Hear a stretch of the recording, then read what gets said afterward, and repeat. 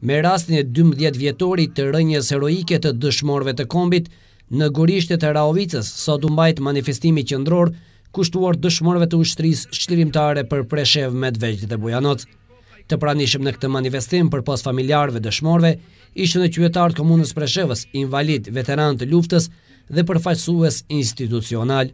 Manifestimi u hap me intonimin e himnit kombëtar nga nxënësit e shkollës fillore Selami Hallaçi Rahovicë dhe më pas me një minutë heshtje u nderuan të gjithë dëshmorët e rënë për liri. Më pas u lexua biografia e dëshmorëve të rënë në luftën e UÇPMB-së. Ne përulemi me nderimin më të madh para tyre që dhanë më të shtrenjtën jetën për lirinë e vendit, Tha kështu kryetari i bashkësisë lokale Fadil Azizi. Nderimi më i madh, ndjenja, dashuria dhe gjithçka tjetër janë te rënët e kombit tonë. Çdo shqiptar përulet me nderimin më të madh para atyre vajzave dhe djemve që me sakrificën e tyre sublime bënë që shqiptarët sot t'i nderojnë ata në liri. Nga presionet e vazhdueshme dhe permanente të qeveritarëve më të lartë serbë dhe se objekti nuk mund të ndërtohet edhe pse kemi të bëjmë me një pronë private, ne në fillim të këtij viti vazhduam punët lidhur me objektin në fjalë. Në ndërkohë, me sugjerimet e faktorit ndërkombëtar rrethanave tjera të krijuara, duke pas parasysh gjithmonë interesin e përgjithshëm shqiptar, ne pezulluam punët për një afat të pacaktuar.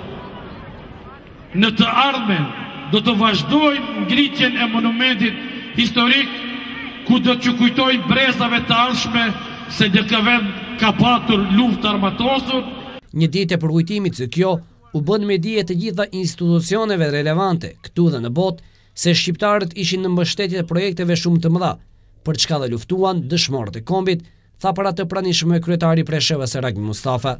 Është gjithashtu në një presion të konsiderueshëm të kërcënimeve që vijnë nga krerët më të lartë shtetërorë se i njëjti fat do ta gjejë edhe lapidarin në Rahovicë njëlloj si ai në qendër të qytetit, Preshevë, Por kurrë nuk do të mund të largojnë kujtimin për heronjët e kombit, për dëshmorët e kombit, kurrë nuk mund të largojnë unitetin kombëtar të shqiptarëve për një jetë më të dinjitetshme, për një identitet të plotë dhe për të merituar vendin e vet në këto toka dhe në këtë region. Andaj lavdi dëshmorëve të kombit, përjetësisht lavdi. Manifestimin e kanë përshëndetur edhe familjarë të dëshmorëve, ish-luftëtarë dhe kryetari i Bashkësisë Islame në Preshevë. Kjo ditë shumë e madhe është. Kjo datë është shumë e madhe.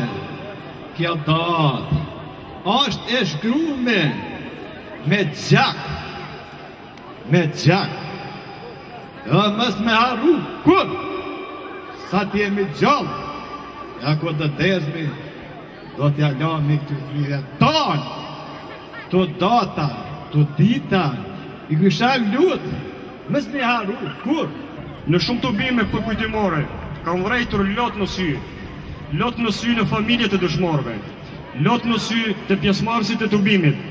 Por një gjë duhet ta dini se ne veteranët e luftës nuk qajmë me lot në sy, ne qajmë me shpirt dhe me zemër, sepse dëshmorët na lënë amanet, këta shokët tanë që i kemi përpara, se ju nuk guxoni të na qani me lot, sepse lotët tuaj tash janë shterur, ju duhet të na mbani në shpirt dhe në zemër, ju duhet që amanetin tonë ta çoni deri në fund. Ranë dëshmorë!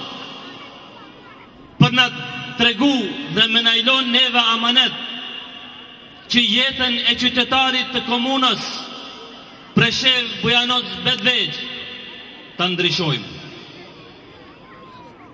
Ta ndryshojmë në atë që është më e mirë. Ta ndryshojmë në atë që është më e vlefshme. Dhe dhashtë Allahu xhel-le xhelaluhu që amanetin e tyre të mos e harrojmë, t'i mbrojmë tokat tona, të luftojmë me gjak dhe me shpirt, me mish dhe me shpirt, për t'i gëzu të drejtat tona aty ku kemi lind, ku jetojmë dhe do të desim. Faleminderit. Në pjesën kulturore, anëtarët e Shoqërisë Kulturo-Artistike Presheva Jehon u paraqitën me këngë e valle popullore. Gjithashtu, u kënduan edhe këngë për dëshmorët e rënë.